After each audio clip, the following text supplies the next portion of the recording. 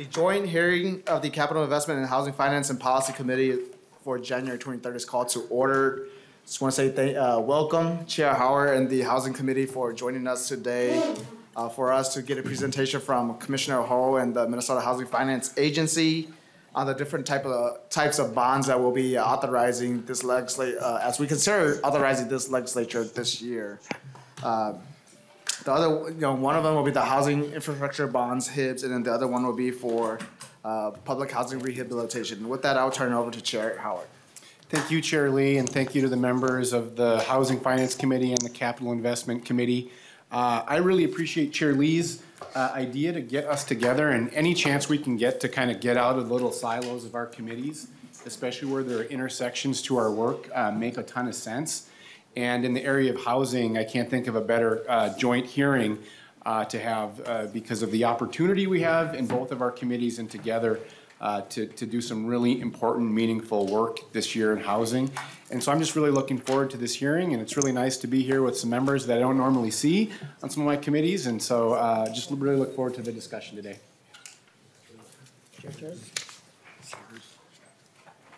And with that, we're kind of yeah, you- sorting this out, this joint hearing. I was just asking him too, Yes. protocol, yes.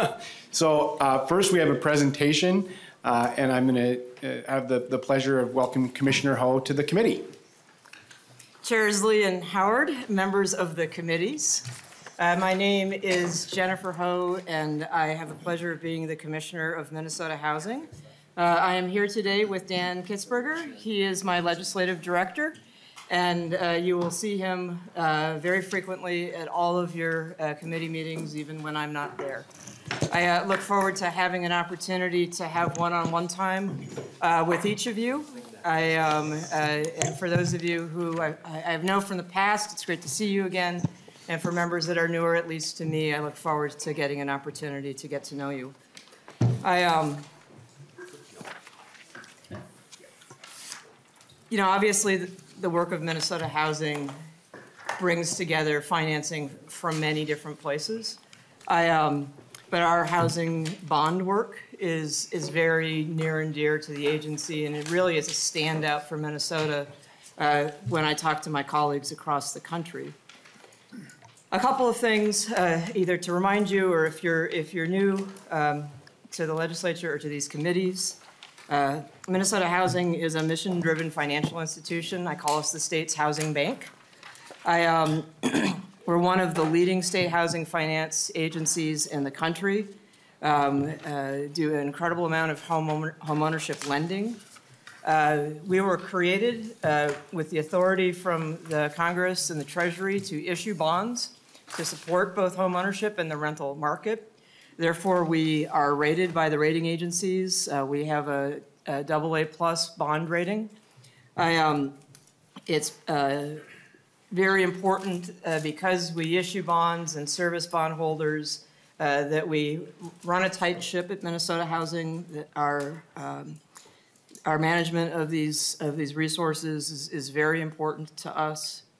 But our partnership with the legislature is another thing that makes us very unique. Uh, I'm able to do things that other housing finance agencies can't do because they're simply touching HUD dollars, issuing bonds, and touching the low-income housing tax credit. We do so many things together with you that it lets us do more than some of our colleagues. I, um, I think, uh, you know, I think you know from your constituents, you know from your work, that housing is an area that is increasingly a challenge for Minnesotans uh, all across the state. Uh, we have almost 600,000 households in Minnesota that pay more than 30% of their income uh, for housing. 30% has long been the federal standard. 79% um, of extremely low-income Minnesota renters are cost burdened, meaning they pay way too much of their income for rent and therefore can't afford the other things they need. We actually have uh, over 180,000 renting households of kind of prime home buying age between 25 and 44 who have the income to purchase a home, but they don't have access to the bank of mom and dad or another resource to help them uh, with the asset to get into home ownership. Uh, for some time now, we've had a limited supply of single-family homes for sale. Especially homes that are selling uh, at 250,000 or less. And the greatest challenge to homelessness on any given night, roughly 8,000 people are sleeping in shelters or outdoors. Uh, You know, I think the, the key to thinking about um, this is we have a supply problem. Uh, We don't have enough um, rental units. But even where we do dedicated units that are affordable to people who make the least, um, you don't have to give up that unit when you make more. In fact, that's how we get ahead. And so this supply issue impacts the market across the board, but the impacts are hardest for the people who make the least. I, um, I mean, I have been so struck in my four years as the commissioner traveling around the state. There's not a single community that I travel to. I was up in Moorhead this summer. Um, I- you know, I was talking to a commissioner from Rochester. Uh, I was up in Grand Portage this fall. It doesn't matter if I'm in Worthington or the suburbs or the cities. There's no part of our state today that isn't impacted uh, by uh, the lack of housing, the number of people that are paying more than they can afford on rent. I, uh, so in most of the state, one in four households pay thirty percent or more of their income, as kind of demonstrated by this, by this map. I think we all know that Minnesota has some of the worst home ownership disparities, especially between black and white households. Uh, This shows uh, the disparities uh, by race and ethnicity. And um, it is, it is certainly a legacy problem, uh, but also one that, uh, with targeted resources, one which we believe that we can make gains against. Um, Disparities in, in homelessness are really staggering. Uh, uh, People who are indigenous are 32 times as likely to experience homelessness compared to their white counterparts. It's in the Star Tribune headlines uh, again today. Uh, evictions um, have risen uh, back to uh, not just pre-pandemic levels, but at higher than pre-pandemic levels, and are persisting uh, at those very high levels. We have a lot of renters who are hurting. So as Chair Lee said, the two uh, bonding items that we come to the Capitol and talk about are housing infrastructure bonds and public housing preservation bonds. The housing infrastructure bonds are appropriations bonds. The public housing preservation bonds are GO bonds. I want to talk about housing infrastructure bonds first. Housing infrastructure bonds were created with a recognition that housing is a part of our critical infrastructure and that it needs to be attended as such. I, um, it was responding to the fact that 95% of all housing in the state is privately owned, but state general obligation bonds can only be used for publicly owned housing. So it was a mismatch to use GO bonds for what it was that we could do broadly in the, in the housing community. So they were created back in 2012 and since have become the largest source of state capital for housing development. And again, as I mentioned, uh, they're unique and frankly uh, a bit coveted uh, when I talk to my colleagues uh, in other parts of the country.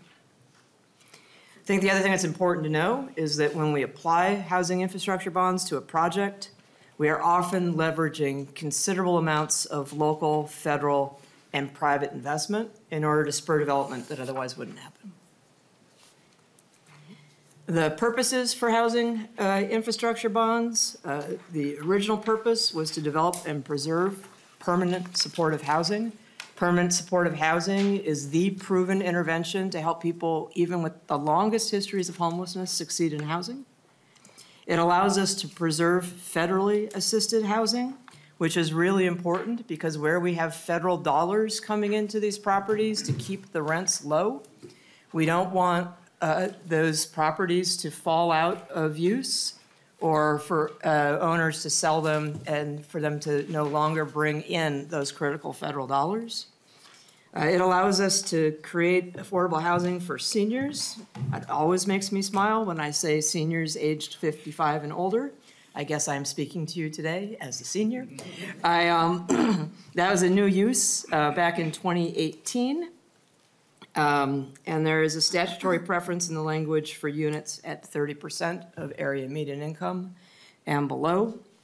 We're able, also new in 2018, uh, to help manufactured home community uh, co-op acquisition, for example. We've been involved in several uh, instances where the residents of a manufactured home community purchased the community from a previous private owner.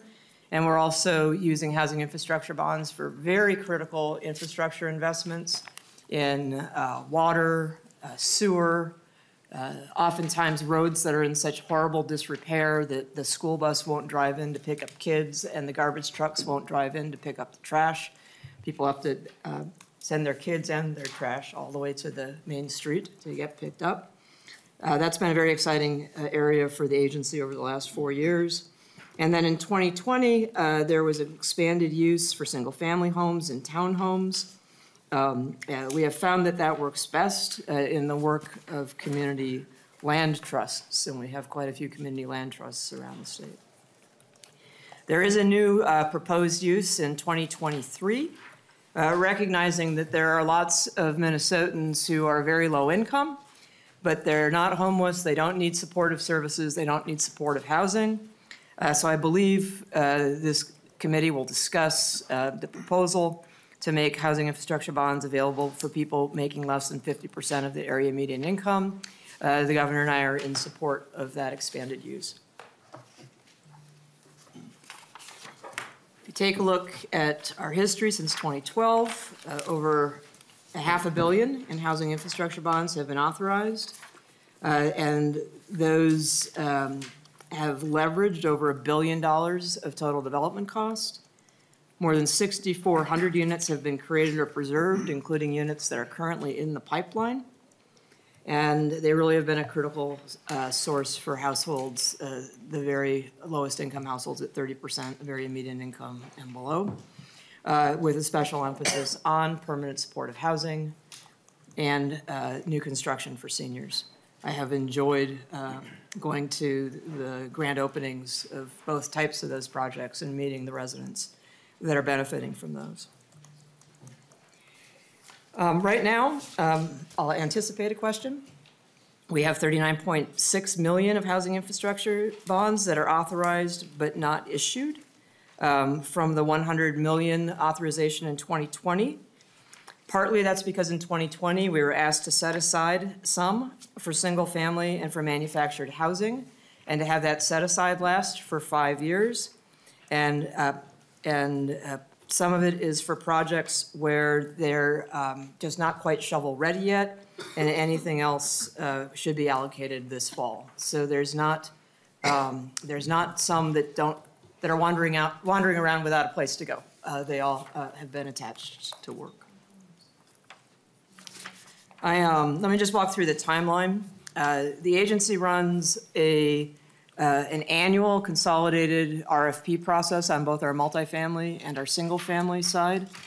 I, um, um, we're open right now for, uh, for technical assistance and outreach. We're talking to people, uh, cities, developers, uh, people who are interested in using any of the agency's resources. In April, uh, our request for funding process opens, and in July, the application period closes. The nice thing about that is usually in May or June, hopefully this year, May, uh, we actually know how much is available, so developers know um, if we have a lot of housing infrastructure bonds. So for example, if you're doing a senior housing project or a permanent supportive housing project, uh, you know you want to get something into our, um, our funding round in July. Uh, We review applications, take them to the board uh, in December. I don't know if I mentioned, I have an independent board of directors. Um, And then uh, select them in December, and we begin project underwriting and due diligence. uh, And oftentimes can issue bonds in the fall of the next year uh, and begin to uh, get the ground break uh, on some of these projects. In 2022, um, first of all, we we received proposals that are far in excess of the funding that we have available each year. Perhaps uh, this will be the last year I need to say that, as just kind of a constant note.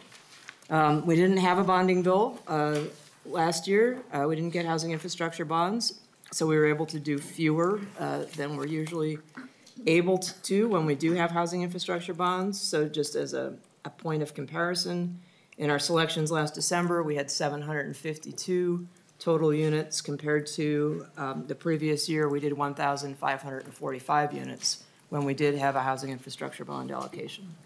So in the 22 RFP selections, we had single-family development, 4.4 million for 14 proposals, um, including uh, 63 community land trust homes. Manufactured housing, 7.7 million in seven proposals, supporting 515 manufactured home community lots. And on the rental side, we were able to do two proposals for supportive housing, that's 88 units, and we did a preservation deal of 86 units. Looking back from 2012 through 2021, you can see it's multifamily new construction, you can see uh, what it leverages, uh, multifamily rehab and preservation. Um, A significant number of those units, uh, you can see how much we've done and what it leverages. Single-family, 422 homes, and manufactured homes, uh, 895 lots. That's a total of 6,358 total units of housing with housing infrastructure bonds. Uh, The precise number, 518.6 million, and that's the precise number of leverage. Just want to highlight a project.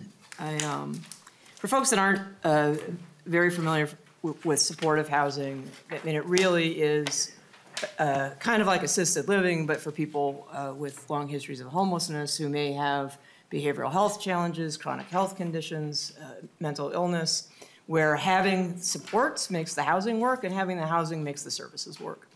This is actually an area that I was up at the Capitol a lot during the 2000s. Uh, Not only does it uh, prove effective to, to keep people housed with very long histories of homelessness, but it also turns out that it's a much better use of public investment. When people are homeless, we spend a lot of money on crisis and emergency services, people, things that are very expensive, without getting a better outcome. When we invest in housing, we're still investing in things, but it's like doctor and medicine. And we're also better able to leverage uh, federal funding. People get on Social Security, they're on Medicaid. Uh, We have the opportunity to tap oftentimes HUD housing resources. So supportive housing is recognized nationally as a, uh, as an innovation, a proven innovation. And so we can do that. This is just a qu- quote from Carol Priest at Red Lake. Red Lake Supportive Housing is starting construction uh, this year for 28 additional units of supportive housing, built as twin homes and duplexes with one to three bedrooms per unit. It's located near two new service centers, so that the services will be uh, very available uh, to the, the residents of the supportive housing, and it's being developed by Red Lake Housing.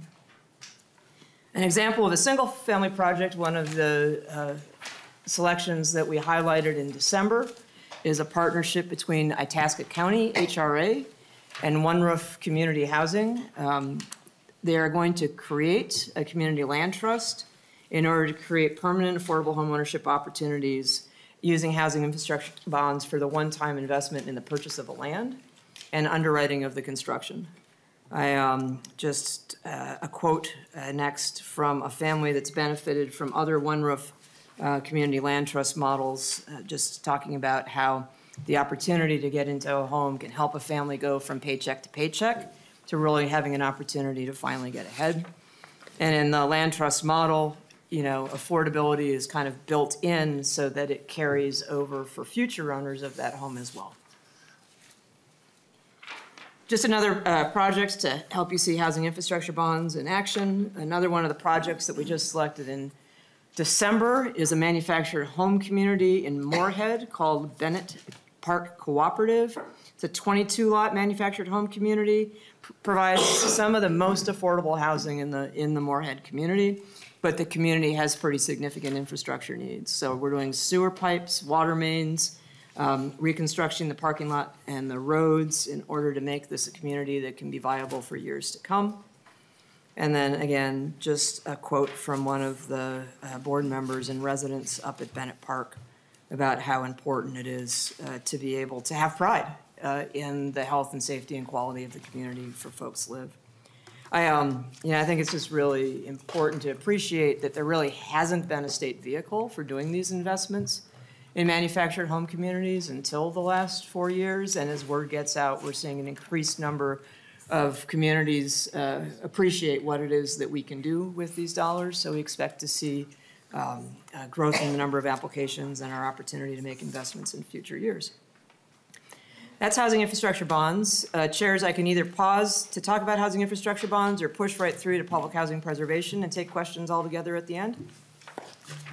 Commissioner, uh, why don't we keep going and, and then we'll go to questions at the end. Uh, Thank you, Chair Howard. So public housing preservation. Um, These are state general obligation bonds uh, because public housing, a part of the Public Housing Authority and HUD infrastructure, is government-owned, publicly owned. So it- it's been a good fit with, the with GO bonds. Uh, Shannon's here, so she'll let me know if I've got any of my numbers uh, not quite right, but public housing serves about 36,000 low-income households throughout the state. Uh, That includes uh, 12,000 kids, a high percentage of uh, seniors and individuals who are living with disabilities. About 65% of the residents of public housing have incomes of less than $15,000 per year. These are folks that are on fixed incomes. More than 95% of public housing in our state is 35 years or older. I, um, and I can, um, you know, actually had the opportunity to go tour an installation of a fire suppression system in the Hiawatha Towers in Minneapolis um, last week. Uh, it's, it's amazing to just um, see what it takes to get a high-rise uh, up to kind of modern technology in terms of sprinkler systems and all the automation uh, that occurs around that. But this has been really, really important for us to invest in this fundamental health and safety um, uh, parts of housing. Uh, you know, HUD really stepped away from its obligation to the built public housing portfolio, and it has been undercapitalized uh, for decades. And so the state GO bonds are an opportunity for us to preserve and improve these units because they are a critical part of the infrastructure. And for those of you who, um, who have small towns uh, across greater Minnesota in your district, it's probably the tallest high-rise in your community. Uh, It would be a HUD public housing project. And we're there to do boilers and asphalt repair and critical health and infrastructure in those. Going back to 2012, uh, you can see the amounts uh, that were authorized and awarded uh, by the legislature. Um, Our biggest year was 2014 at 20 million. The last time we received it was 16 million, 16 million in 2020. So in total, 61 and a half million of, of POP authorized over those um, five years, uh, 116 projects serving over 8,600 units. Um, And again, some really basic infrastructure repair, but also an opportunity oftentimes to dramatically improve the quality of life for the residents in the building, as well as for the, uh, the neighborhood around it. I think we were in Le Sueur uh, last summer, and the Le Sueur Public Housing Authority has one building, that's the Le Sueur Public Housing Authority. But we were able to take a completely uh, uh, rundown and dangerous outside kind of ironworks uh, deck and stairs system that had become just a horrible safety hazard. Refacade, redo, uh, redo the flow of water so it wasn't flooding inside. A beautiful project, and that's great not only for the residents, got to meet a couple of them, but for the whole surrounding community. So excited that to see that. Uh, here's a, a project uh, in Luverne from 2018, almost $600 million of, of public housing preservation GO bonds, seven-story, 70-unit development that was able to make the building uh, accessible. Here you see the before picture of somebody trying to get into the building who uses a wheelchair before it was done, and uh, get the investments done. We now have an ADA accessible building that also uh, improves safety as well as the longevity of the building. So you can see the range of things that we did there. Here's a number, another example, uh, just here in St. Paul, the Wabasha High Rise. Uh, It's a six-story high-rise that was built in 1969. It's owned by the St. Paul PHA. 70 units, uh, both efficiencies and one bedrooms, uh, serving a very diverse group of low-income individuals. You can see uh, that it, uh, that the outside exterior was uh, falling apart on the building, and, which made it more dangerous for folks who lived there, but also for folks who were just walking by. And we were able to help invest in the improvements to that. So I'd like to end all my presentations. If you have any hard questions, please call my legislative director, Dan Kitzberger. He'd be happy to help you out. And uh, with that, we would both be happy to take uh, any questions that you might have. Thank you for the opportunity to walk through our bonding programs. Thank you, Commissioner and Mr. Kitzberger. Uh, Are there questions from members? Representative Urdahl. Uh, Thank you, Mr. Chair and the Commissioner. Uh, First of all, thank you for coming into my district and viewing a couple of housing projects. Uh, Those are, you know, important parts of, of our community. Uh, You know, obviously, there still is the, the shortage. Um, You know, Litchfield is uh, trying to expand their businesses, but there's no place for people to live. Um, One of the uh, concerns that I have, which was brought to me by uh, a uh, governmental entity that was trying to uh, uh, promote a, a couple of housing projects is that they couldn't do them uh, because of the cost overrun, which was generally brought about through prevailing wage. And I had, I've been talking to some folks in that industry about you know, what can be done in situations like that, where the project can't even be done because they can't afford to pay, to pay the prevailing wage rate. Uh, Any uh, thoughts on that? Commissioner Ho. Uh, Chairs and Representative Urdahl, thank you for the question. And, um, and yes, I did enjoy both going to see something that was just getting ready to open as well as breaking ground on a project in your district. That was fun to do. I, um, uh, obviously prevailing wage is, uh, under the uh, oversight of my colleagues over at the Department of Labor and Industry. But what we also have heard is that especially for folks who are trying to do single-family construction, uh, that getting contractors to bid on single-family projects in greater Minnesota can be very difficult.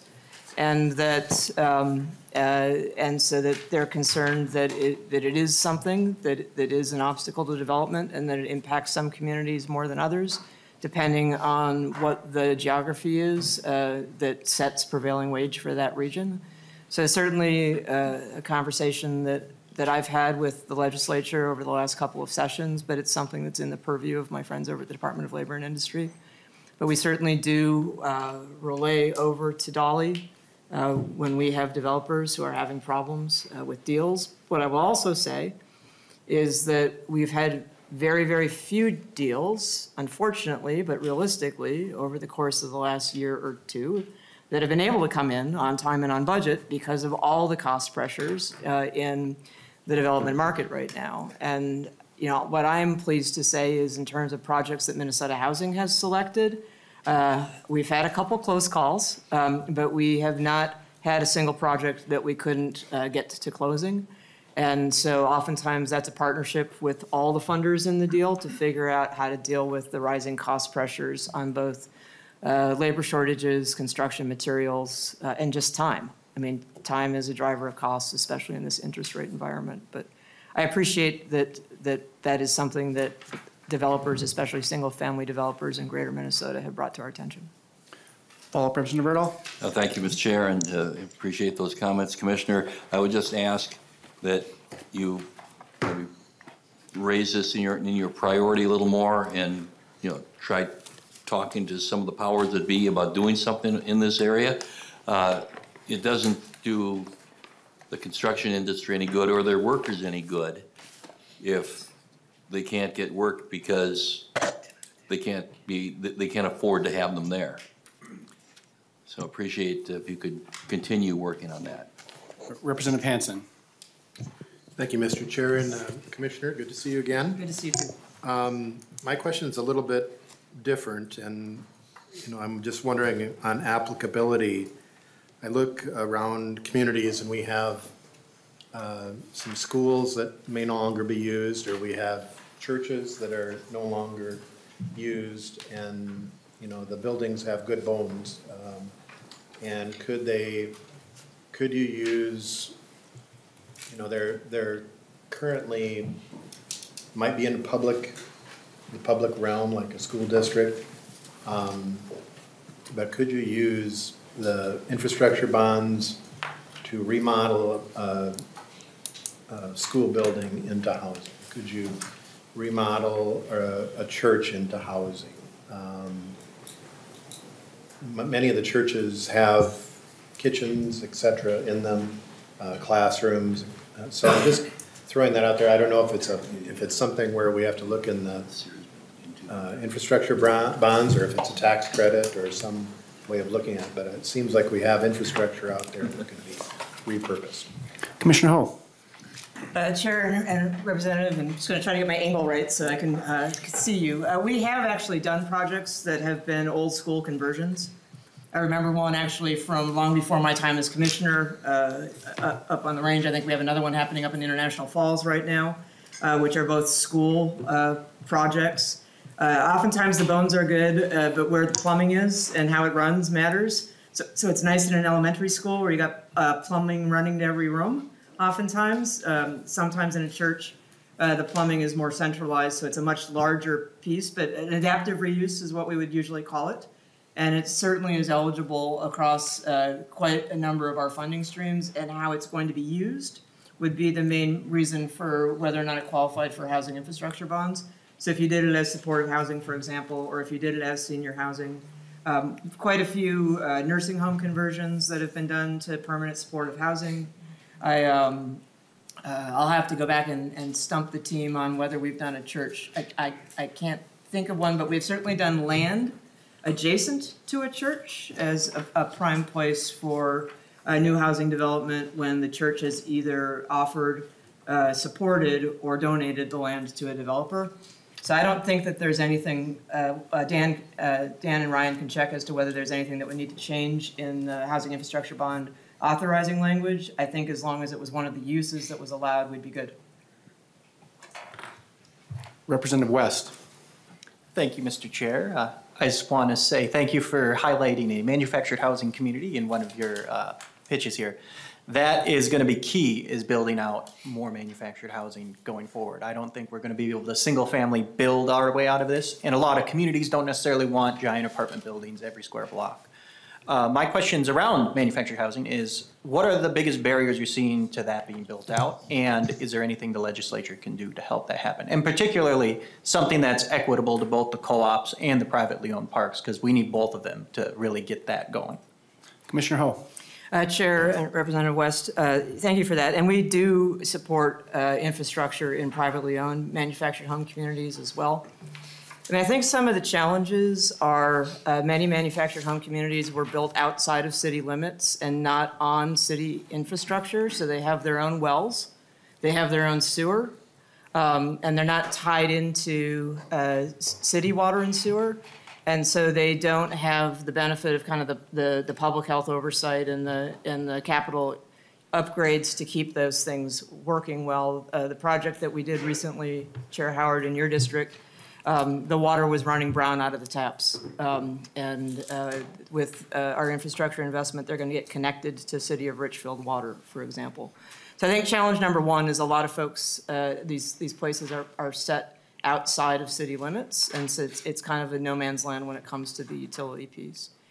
I think uh, we have, uh, we have great private owners uh, that are great partners with their residents. We have some uh, corporate out-of-state owners that are trying to price gouge their, their residents. We're seeing some communities where lot rents are skyrocketing, and there's a lot of additional fees that are being placed on residents. And for residents, especially in older manufactured homes, it is very expensive to contemplate the idea of relocating to another community that has a lower lot rent.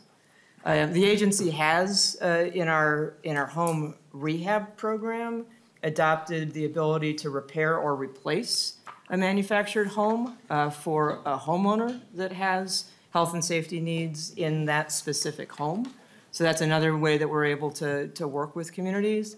I think for us and for uh, the manufactured home communities generally, I think it's just getting used to the idea that the state is making consistent year-over-year investments in these things and making sure that people understand it, but also because a lot of these private owners of manufactured home communities aren't used to getting investments uh, from government. They also have to get used to the fact that if they say they're going to make an improvement, that costs a certain amount, that we're gonna look at their plans, we're gonna look at their engineering, uh, we're gonna look at, at making sure that, that that work gets done uh, to, to, to good quality standards. And oftentimes that is done um, in partnership with the city um, or, or nearest city to make that happen.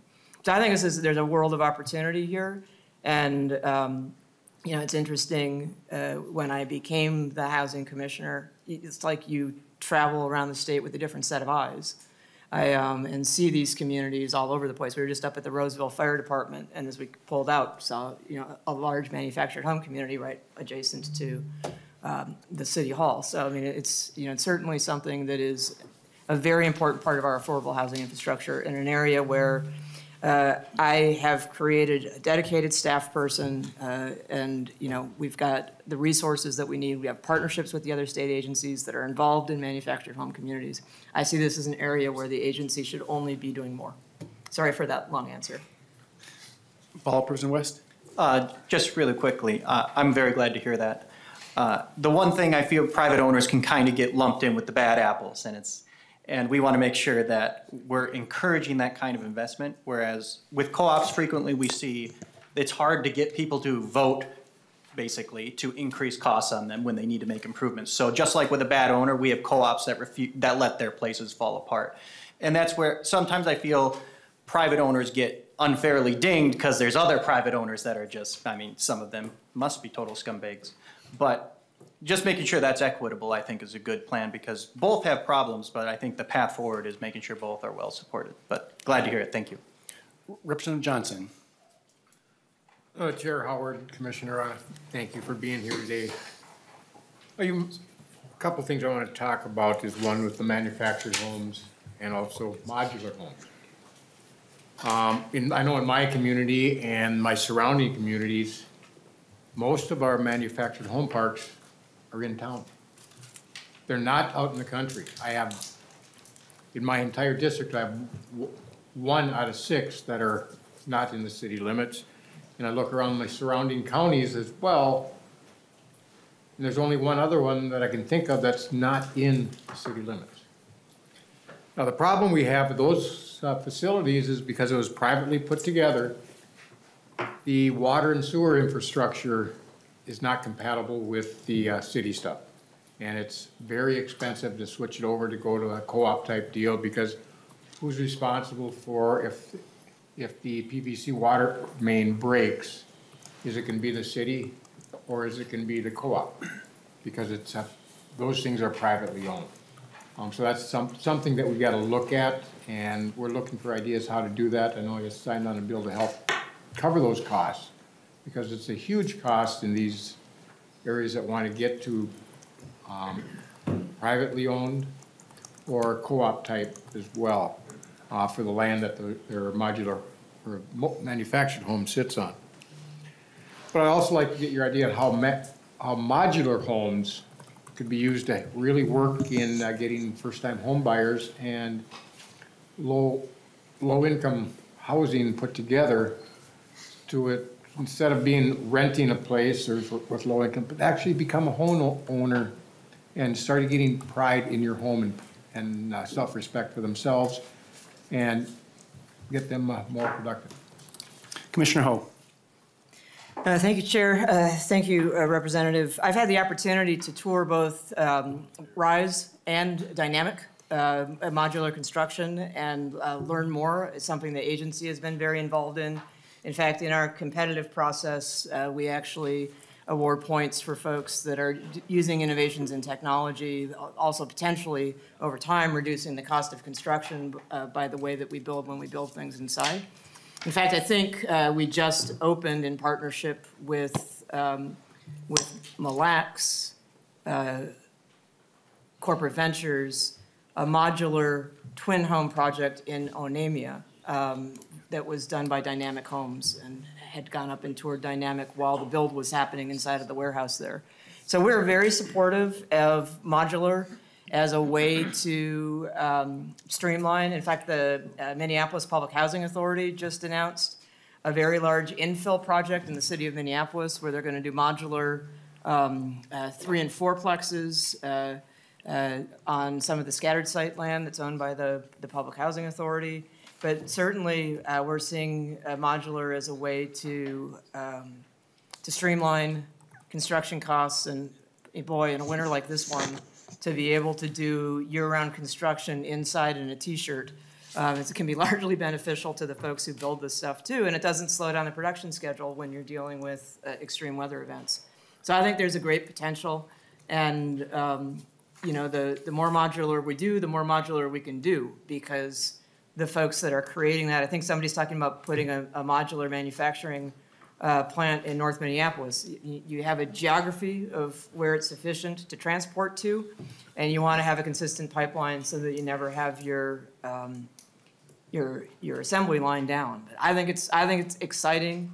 I, uh, for folks who haven't had an opportunity to tour a modular uh, manufacturing plant, I mean, it, it kind of makes you feel like you're in Legoland for adults. It's very cool to see how they're able to just move literally a home across an assembly line and out the door and onto a truck and out to a site. So I, I think it's very promising. Representative Johnson. Uh, Chair Howard, Commissioner, I myself have toured, uh, one or two facilities in, in the past. Um, so I, I think the modular is gonna be a way to go, especially with something, in fact, I have a hotel in my district that was a, I can't remember how many rooms they have, it was a modular put together. Um, then, then the other thing, two other questions, you talked about your bonding limit and how much you have left. If you could get that back to me, because I didn't get a chance to write it down quick, and my, pen wasn't working. And then also of the public housing funding, that summary that you have of the hundred and sixteen projects that you've done since two thousand twelve.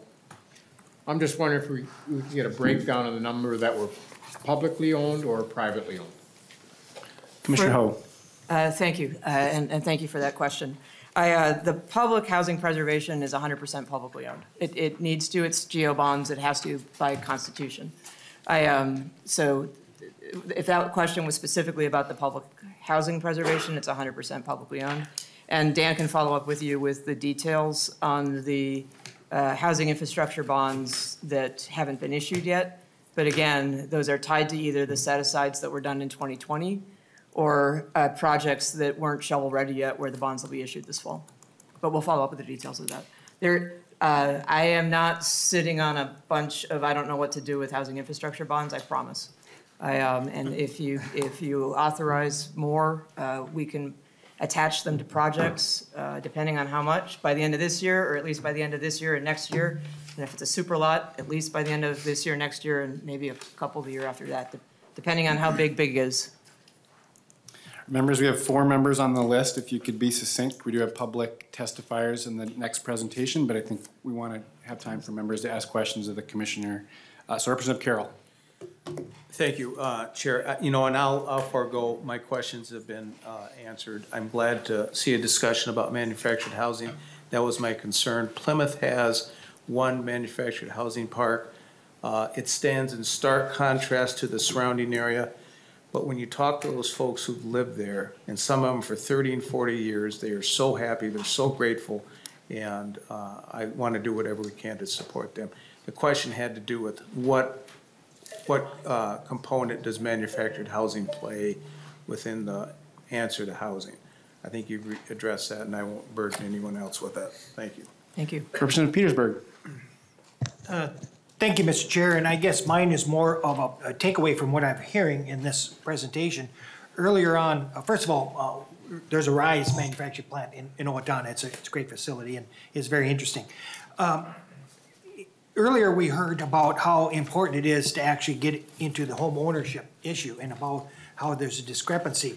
And yet, we see that most of the proposals, especially in later presentations, is all about uh, developing more rental property and more opportunities for, for uh, low income to get shelter uh, in that particular way, which really doesn't help the home ownership uh, piece of it. And matter of fact, even uh, some of the proposals coming in front of uh, housing uh, in talks in regards to uh, reducing the uh, down payment for housing actually promotes higher cost of housing, in which we really need to start thinking about how can we make homes, uh, whether it's duplexes or, or whatever, smaller in cost or figure out some way of reducing that, because otherwise, that discrepancy is always going to continue to be there, because we're actually promoting people to staying in, in rental units when we put all of our money towards rental units. Now, part of that is trying to figure out how we can make the, um, opportunities for manufacturers and builders to make them cheaper. Uh, but also, there's also a government entity issue in which we are creating regulations that are also creating higher costs. And so there has to be some way of us being able to juggle all of those complexities into developing opportunities for actually homes to be at a, at a lower cost. Because if I look at the inflation of homes today compared to inflation of cars, for example, uh, automobiles since their inception, I think housing has grown a whole lot faster than cars uh, with the same pressures. And some of that I think has to do with regulation. Others had to do just with size and other things that we want to do. But I do think that this presentation really reflects the fact that there are much more larger issues here than just about whether or not we provide more housing units. So that's just food for thought, Mr. Chair. If I may, briefly, Yes, Commissioner. Uh, Thank you, Chair. Thank you, Representative Petersburg. I Just uh, remind you that the presentation today was simply about our work on, on bonds. And when you take a look at the whole work of the agency, there's a significant uh, body of work. In fact, most of our outlays are around single-family home ownership. Just want to make that point, that today we're just talking about bonding. Commissioner Franson, or Representative Franson. Maybe someday, Ooh, not today. yeah. Uh, Miss, uh, Commissioner, uh, thank you, Mr. Chair. Um, wondering, I just thinking about the, the mobile home parks here. And if I recall, I heard you say that there is funding for privately owned parks for infrastructure, is that correct? Commissioner Ho, Yes, that is correct. Mr. Chair? Representative Franson. I'm thinking of a specific mobile park that the city of Alexandria has discussed with me, and it's privately owned. It appears that the owners don't really want to put any money into the infrastructure on the bottom. Would this be something that the city of Alexandria would be able to apply for funding? The, the owners of the homes don't have the funding for the infrastructure, yet it appears what I've been told is that the owner of the park doesn't want to invest either. Commissioner Ho. Uh, Chair Howard, Representative Franson, I think that is uh, such a unique case. It would be best for us to take it offline so I can make sure that I understand the specifics of it. It would be hard for us to do an infrastructure project if the owner didn't want to do it. I, um, but are there ways in which the owner and the city could partner to do it? I suspect there probably would be. I would have to go back and check with our experts as to whom the applicant would need to be. Okay, thank you. Representative Hussein. Thank you, Mr. Chair, and thank you for being here second time and making yourself available to, and answering all those questions that you, you have answered. Uh, My question is following up uh, Representative Rick Hansen about the availability uh, that we have in schools and charge. And uh, I don't think so we'd be able to address the housing crisis overnight, and will take us uh, quite a bit. But I was thinking, uh, in order for us to address homelessness, can we use for uh, uh, temporary shelters for, you know, uh, to address the homelessness until we uh, able to find more housings in, in our city and state.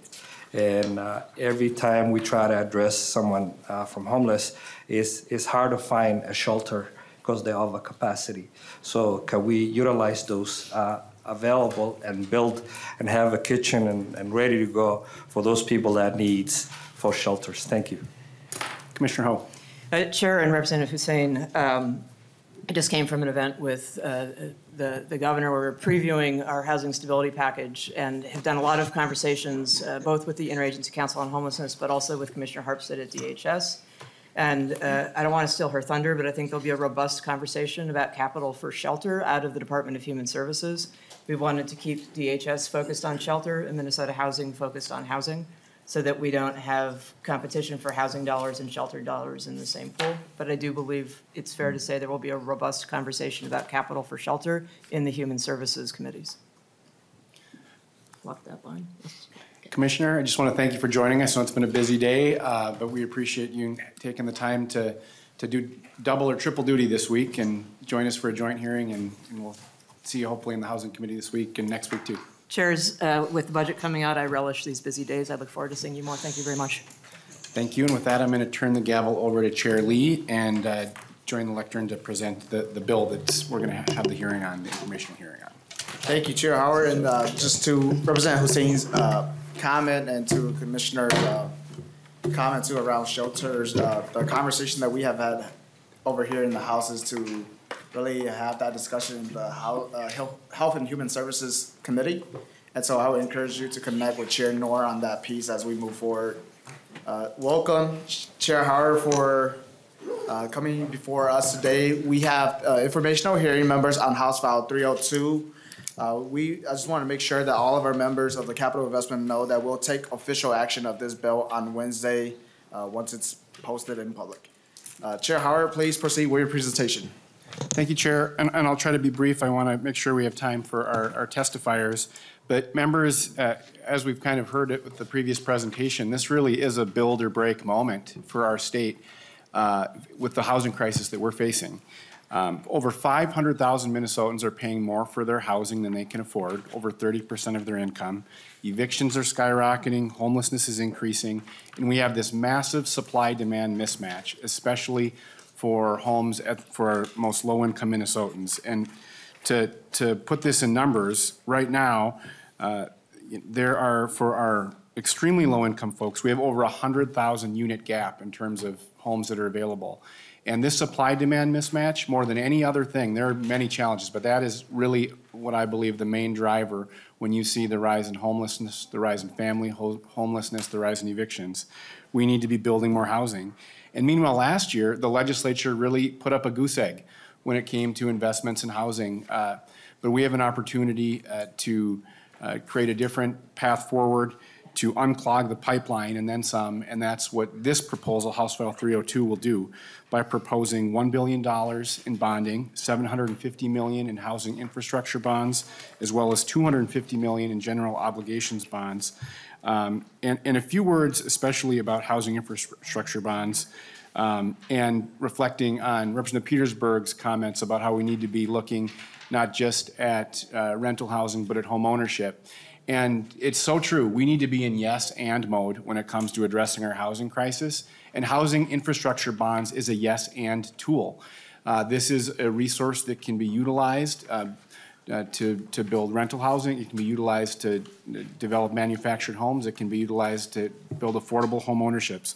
It's one of our most flexible tools, one that has been bipartisan in the, in the past, uh, and, and truly meet uh, a gap uh, that exists to, to get thousands of units of, of homes and units online.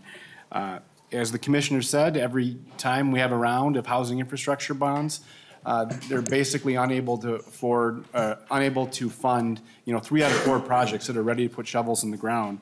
And so we have an opportunity this year uh, to create a different path and get more shovels in the ground. And, you know, the ripple benefits of doing that are just hard to overstate when you think about how foundational an affordable home is to everything in your life. Uh, You know, being able to deploy these resources is going to build a stronger uh, economic future, better educational outcomes for our kids, better health outcomes for families. Uh, All will improve if we're able to uh, make these kinds of investments through housing infrastructure bonds and general obligation bonds for public housing. Uh, So I say build, baby, build, and that's what this bill will do. Uh, And with that, I'll turn it over to my testifiers. Uh, Thank you, Chair Howard. So first up, we have Kelly Law. Please identify yourself and proceed. Chair Lee, Chair Howard, members of the committee, thank you for the opportunity to speak with you all today. My name is Kelly Law, and I'm a Policy and Field Building Advisor with the Metropolitan Consortium of Community Developers, or MCCD. Um, MCCD is an association of 50 nonprofit organizations committed to expanding the wealth and resources of communities through housing opportunities and economic development initiatives. MCCD and its members dedicate our time and resources to address Kelly, can I have you uh, speak closer to the microphone, please? Thank you. Yes, sorry about that. Um, to address the housing crisis across the continuum of housing needs. Our members are both multifamily and single-family affordable housing developers. They provide homebuyer services, they work in community, and they work to ensure that everyone in Minnesota has a place to call home. With our partners, members, and the Homes for All Coalition, we are asking you to support the $1 billion request in bonds for housing this session. The lack of affordable housing options is at the core of Minnesota's complex housing crisis. Simply put, there is not enough housing in Minnesota. Minnesota is also losing its affordable housing stocks at alarming, at alarming rates, and new construction has struggled to keep up with the increasing need for affordable housing options. We need more than 4,500 units annually of deeply affordable housing at or below 50% AMI. However, we currently only build 550. As the supply of housing is decreasing, the cost of housing is increasing. Families cannot remain, cannot afford to remain stably housed when 30, 40, 50, and 60% of their household income is drained by their housing costs. In 2021 alone, MCCD members created or preserved over 250 affordable home, on, home ownership opportunities and helped more than 6,100 households with home buyer services. To date, MCCD members have created or preserved more than 28,592 permanently affordable rental homes in Minnesota. We also know that MCCD's membership collectively serves primarily BIPOC renters and homeowners at far, far greater rates than the private market. Of the rental and homebuyer households assisted by our members, 73% identify as BIPOC. The consortium has proven that its shared work to lower racial disparity gaps for cost burden renters, in homeownership rates, and access to capital is working, but without continued resources from the state, this work is in danger of coming to a halt. We recently conducted an affordable housing pipeline survey to better understand just how many affordable housing projects are waiting in the pipeline. We know that 50% of our members um, have more than 22,360 units of multifamily housing, 350 units of homeownership, and 935 units of housing co-ops that are ready for development right now. With additional funding from the state, these housing projects will move out of the pipeline and into units that will house those most affected by the housing crisis. I cannot stress enough the importance of passing this bill. Housing infrastructure bonds are some of the most flexible state sources of funding to develop and preserve affordable housing in Minnesota. Since 2012, as Commissioner Ho stated earlier, housing infrastructure bonds have created or preserved over 6,000 units of housing, indicating the huge impact that an additional $1 billion in bonds for housing will have on the housing needs of the state. Additionally, by authorizing half of the housing infrastructure bonds for 2023 and half for 2024, we can create a more predictable and consistent pipeline of funding for current and future housing projects. By passing House File 302 and securing $1 billion in bonds for housing, we can begin to address the lack of affordable housing across the state of Minnesota. The time is now for transformative investments in housing. We know that happy, healthy, and stable lives start with home. Thank you, Chair Howard, for carrying the bill, and thank you to Chair Lee and the members of the committees for the opportunity to testify before you today. Thank you for your testimony. Next up, we have Linda Stage.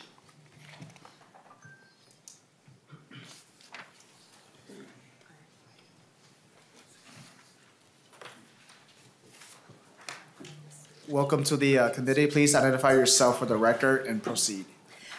My name is Linda Stage, Chair Howard and Chair Lee, and members of the committees. I thank you for uh, allowing me to testify today. I'm here today as a representative of Aeon and have been asked to speak about the importance of passing House Bill, House File 302 this year. In 1996, I went through a very difficult divorce it had been an abusive relationship, and my husband took everything. He took my retirement, he took my savings. Um, and when that happened, I could no longer afford the rent on my home. I had worked my entire life as a registered nurse and a nursing instructor, helping to educate members of my community to be caregivers. But when my husband left, that all changed. I began to search for other housing options as soon as I realized I was going to lose my home. I called shelters that told me that I would have to sleep on the floor, but I knew that as a senior woman, my body just wouldn't tolerate that. I'd probably be on the floor the whole time. Um, and I called housing agencies throughout the area, and they were full. Most of them didn't even have a waiting list, but those that did, the waiting list was approximately two years. So I had no choice but to live out of my car. I was lucky though, it was summer, so I didn't have to deal with the cold of the Minnesota winter. But knowing that a change in season was coming, I was motivated to continue my search for housing options. And through the grapevine, an employee at Aeon found out that I was homeless and worked with me to get me an apartment. And once I was in an apartment that I could afford, everything changed. Since then, I have had the opportunity to grow. For the first time in my life, I can say that I have friends. And I'm giving back to my community too. I've helped organize a food shelf, I've worked on voter registration, and on the census in 2020. Um, I also worked as an election judge in my community last November. My home makes it easier for me to manage my health too. Um, I have a refrigerator where I can store my insulin, and I have an address where my medication can be sent. And best of all, for me, I have a place for my grandchildren to come and visit me, a place where I know they're safe and where I can host them. I have had the opportunity to, get excited about my life again. As a senior, my journey may not look like the face of homelessness, but here I am. I'm only one person out of a growing number of seniors facing homelessness.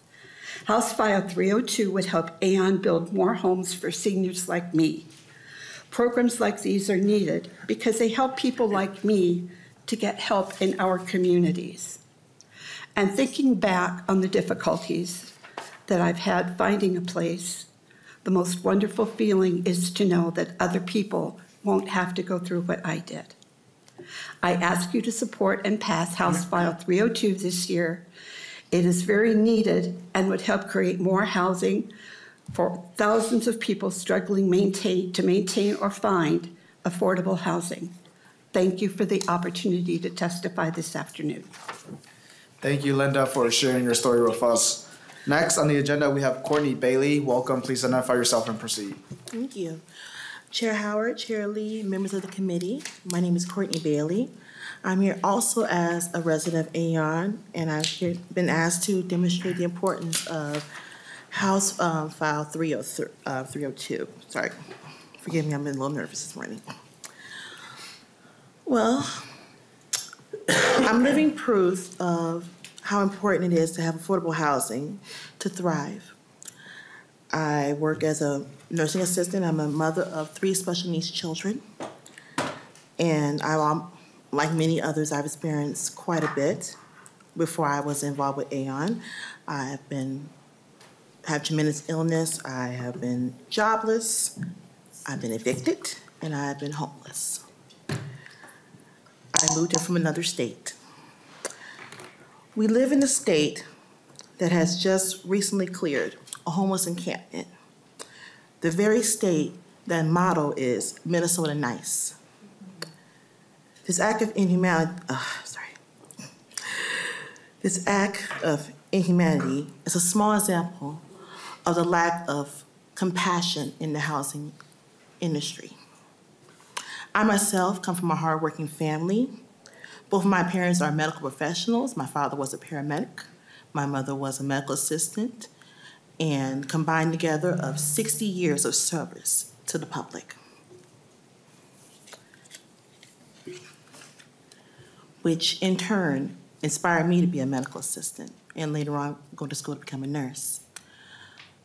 Unfortunately, I couldn't afford it, so I had to take a job as a factory worker. That's where I met my then husband. And we lived a very modest life. I became pregnant. And in an instant, we both lost our jobs. So uh, we had some friends here in Twin Cities and told us that Twin Cities, Minnesota is an excellent state, it's thriving, warm. So we scraped up what little dollars we had from friends and family members, and we took the 16 hour ride to come here to start our new lives. In the beginning, it was very tough. We had to live in a shelter. Shortly after coming here, I found that I was actually two months pregnant with my second child. Commuting back and forward um, on a bus was difficult. Living in a shelter was even more degrading. To the point where one night, as I sneezed, my water broke. Had to stay inside of a hotel room for a time being. Eventually, we found um, a little housing apartment. We didn't have much, but we had each other. Later on, shortly after our third child was born, my husband left me. So here I was, one person with three small children with one income. And business being business, my landlord evicted me with a one month old baby. So I had to bite the bullet and return back to work. Some friends and family got together and watched my children while I worked 60 hours a week until I was able to find a place to live, which was through Aeon. The moment when I was able to get keys put into my hand and my sons were able to run upstairs to their bedroom, their own room where they can play, was the most heartwarming and satisfying experience. An experience that mostly anybody deserves. They hear the joy of my sons when they say, This is our house. But just because I have a home now doesn't mean it's forever. Like many other Minnesotans, we teeter a line of which one paycheck keeps us away from poverty. That type of exhaustion, that type of stress is unbearable at times. So I'm here to ask the committee, my fellow Minnesotans, the individuals that showed me that we can come together as a community with love and respect and compassion for others to have this bill to be signed, that we can have affordable housing, that mothers like me can walk into our doors with our children and just a sigh of relief. That our seniors who have done so much in our community can go home and relax after they've done so much. Our blue collars, our white collars, our everyday workers, we need this. Thank you for your time. Thank you, Courtney, for sharing your experience with us. Next on the agenda, we have Mandy Pant. Please, uh, welcome to the committee. Identify yourself and proceed.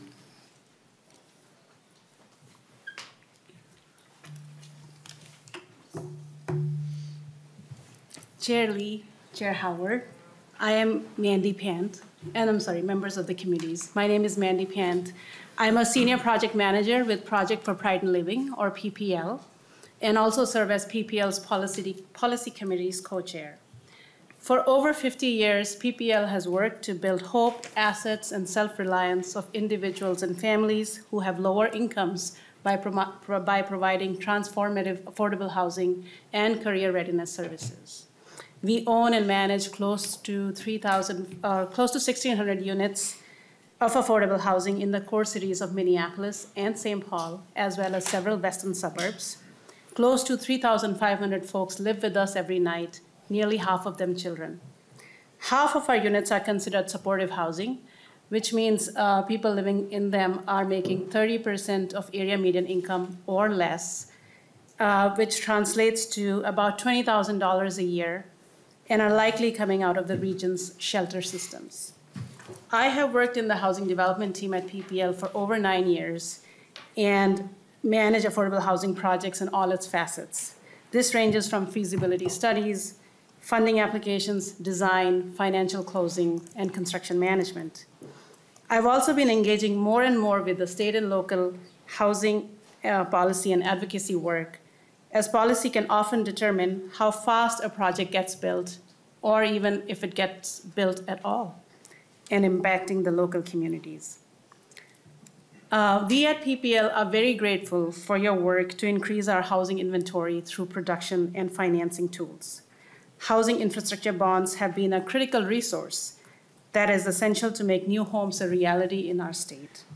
One of my most recent projects was Anishinaabe 3 in uh, partnership with the American Indian CDC, uh, built on Franklin Avenue in Minneapolis. It completed construction last winter and serves 40 individuals coming out of homelessness and with substance use disorders. PPL's latest development is Bloom Lake Flats on the Lake Street corridor in South Minneapolis. Includes 42 units of supportive housing serving um, households and individuals where at least one member of the household is living with HIV and has experienced a housing instability. Both these projects were funded by housing infrastructure bonds and serve critical needs populations. Without HIBs, these may not have been built. The present investment, however, hasn't kept up with demand. Recent estimates suggest Minnesota will need to increase housing production by over 10,000 units a year, and approximately half of those will need to be affordable to address current demand.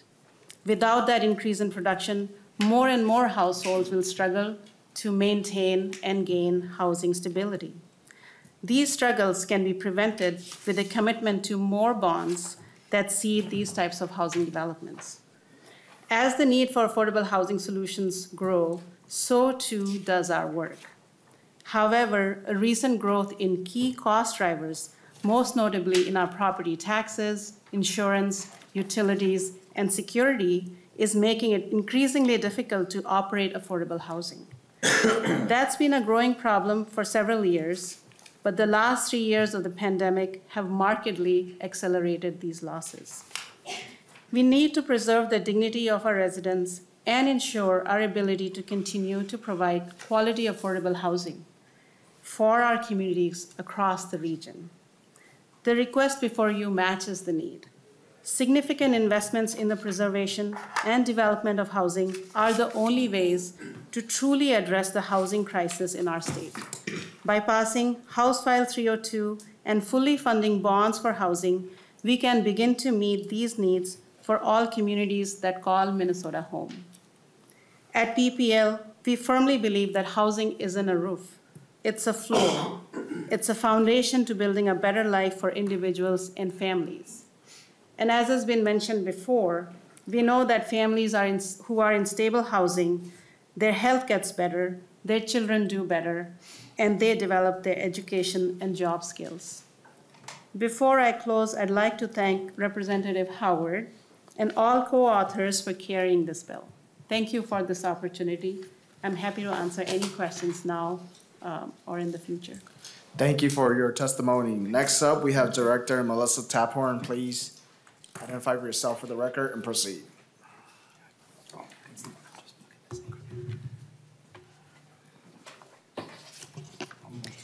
Good afternoon, Chair Howard and Chair Lee and committee members. My name is Melissa Taphorn. I am the Executive Director of the Washington County Community Development Agency, and currently I serve as the Legislative Chair for Minnesota NAHRO, which is the Minnesota chapter of the National Association of Housing and Redevelopment Officials. And that is why we use acronyms a lot in our work. Um, uh, thank you for the opportunity to talk to you today. Um, because this is the first uh, presentation that Minnesota NAHRO has made um, to either committee.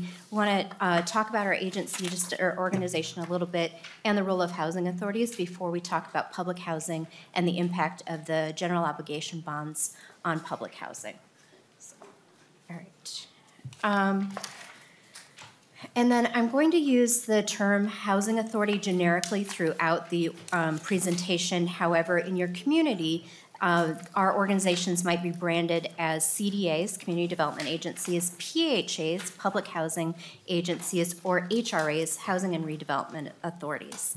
And on the list of testifiers that included myself and Jill Bankston, unfortunately, Jill is ill today and unable to join us, so you'll just be hearing from me.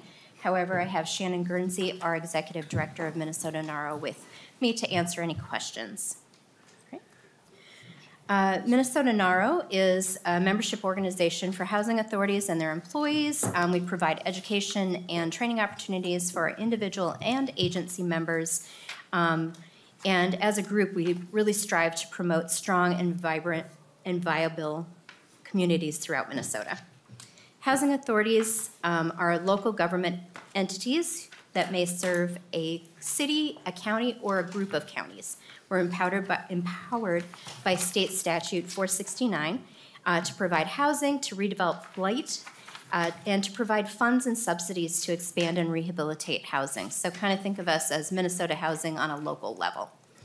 Um, however, we do a little bit more. Uh, depending on what our needs are. Each housing authority applies these powers in different ways to meet the unique needs and plans of their jurisdiction.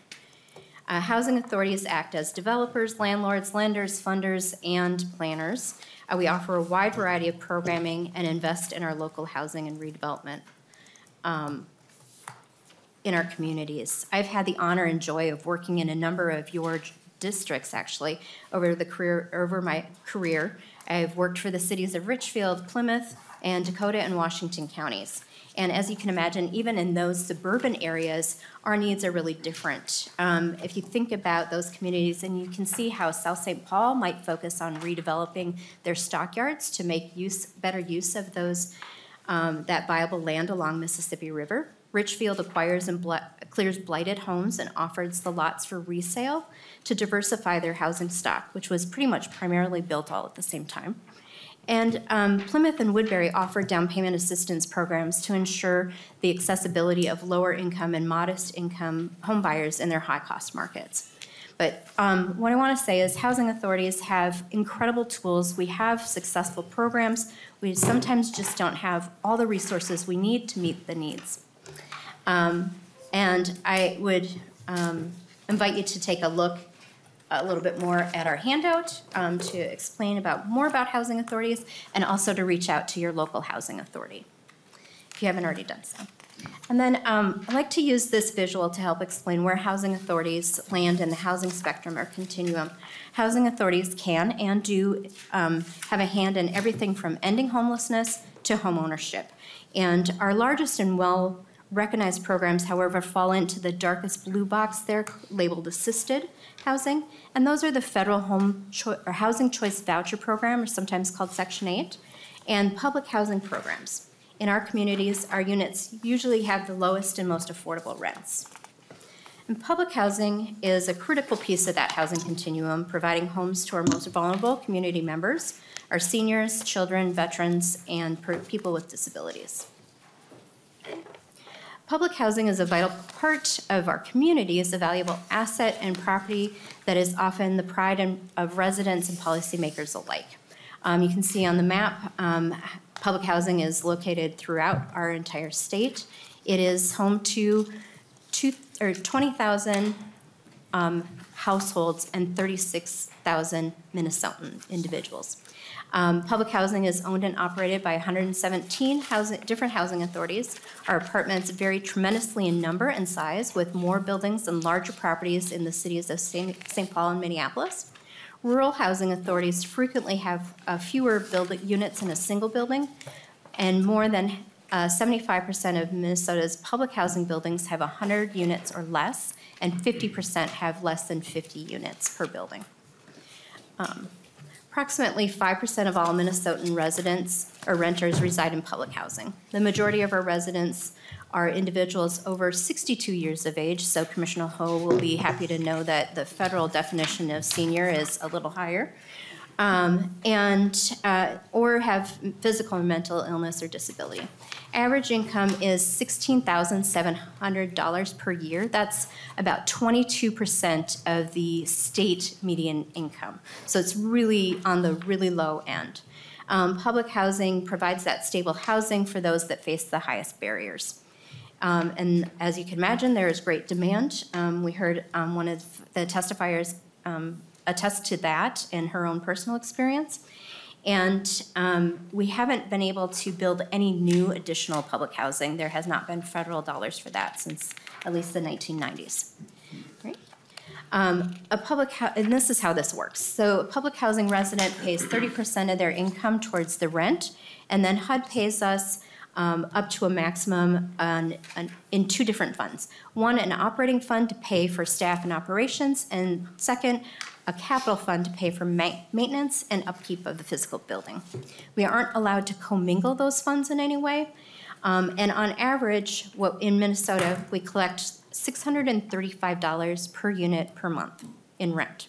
The resident pays on average $334, and HUD pays us $301. And then on the capital fund, we receive an average of $217 per month. And for context, most monthly family lenders require replacement reserve um, deposits per month of $350 to $500. So um, just emphasizing how we're greatly underfunded there. And then um, years of declines have created backlog in community or capital improvement needs. A survey conducted in 2019 of a subset of our Minnesota housing authorities showed that there was um, $187.7 million in immediate critical needs. And then based on those survey responses, the consultant extrapolated that there was um, an additional amount that totals just under three, $355 million. That was our critical immediate needs in 2019.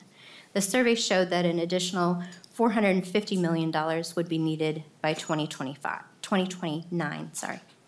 Unlike other residential property, housing authorities cannot borrow to make these repairs. Um, public housing prohibits securing other debt on that property. Um, and this, these numbers just um, Again, we're 2019, so this does not take into account the variation in, in pricing, and we're seeing about 30% increase in construction costs. Right? Uh, in order to pay for rehabilitating public housing, we can follow a couple different paths.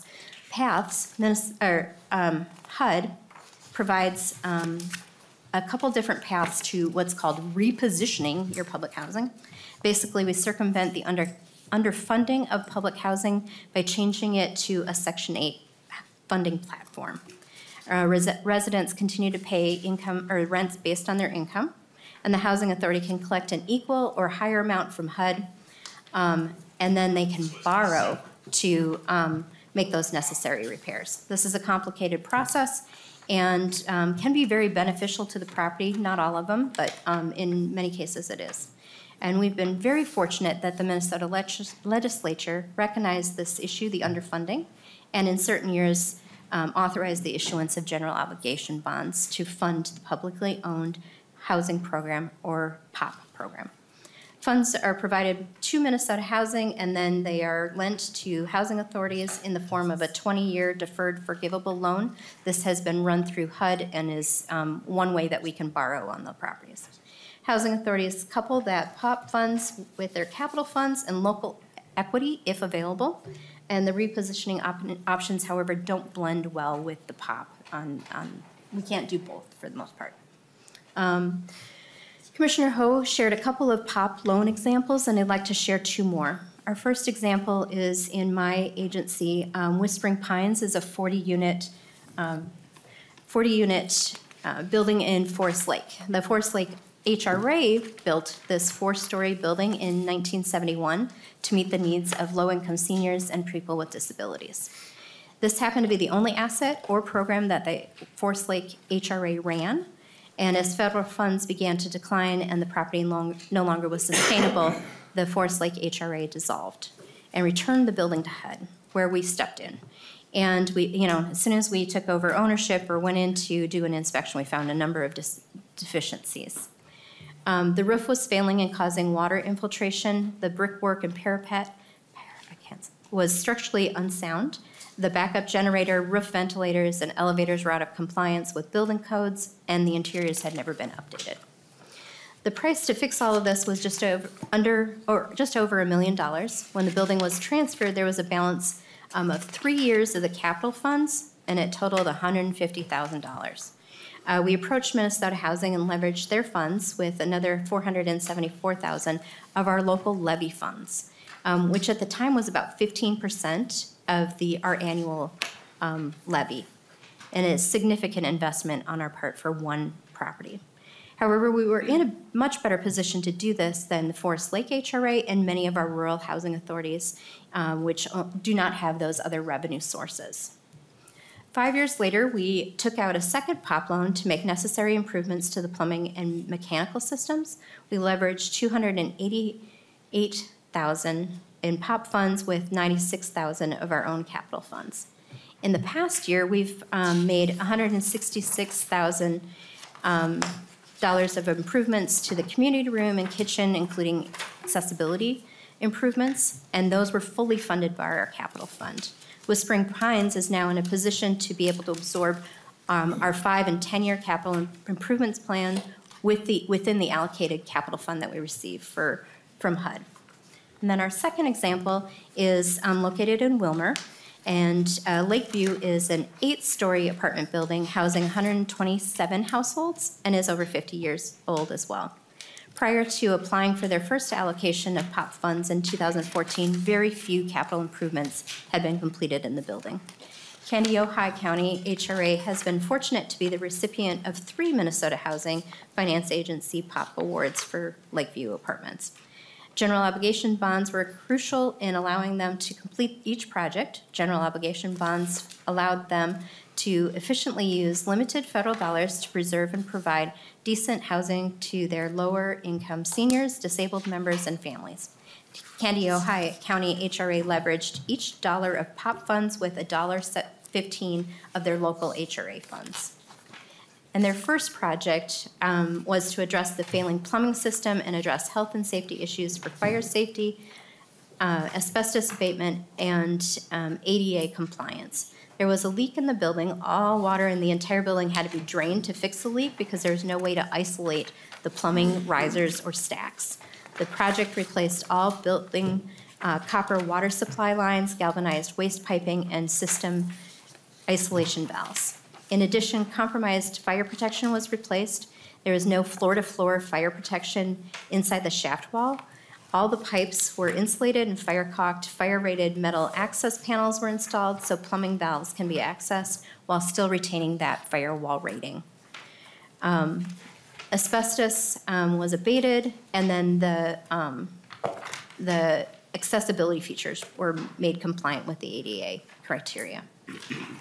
This allowed a wheelchair-bound community member who was living in a motel for a year to move into one of the handicap-accessible units. Project was completed under budget, and in this case, an added outcome was the reduction of water use in the building. Before undertaking the project, the building used 12 million gallons of water a year, and that was reduced in four years to 5.5 million. Director, can I have you wrapped up? Yes, and then, um, so there's a number, you know, a number of other things, and I know you have the presentation in front of you on Kandiyohi. So I would just, um, emphasize that that six point five million dollars in general obligation bonds has been very important to our housing authorities, and most importantly has been given, um, our residents a sense of pride. And we would just, uh, express our support for House File three oh two.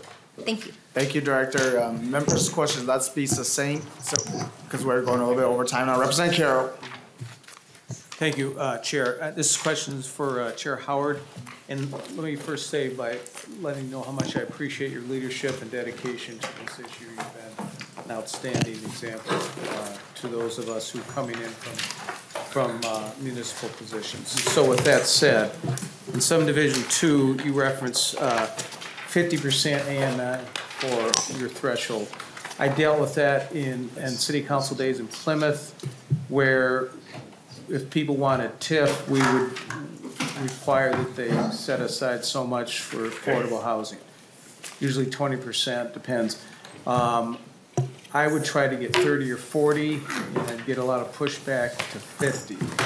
What is it about fifty versus thirty or forty? I think I know the answer, but I want to hear why it is you have it in your legislation at fifty. Chair Howard.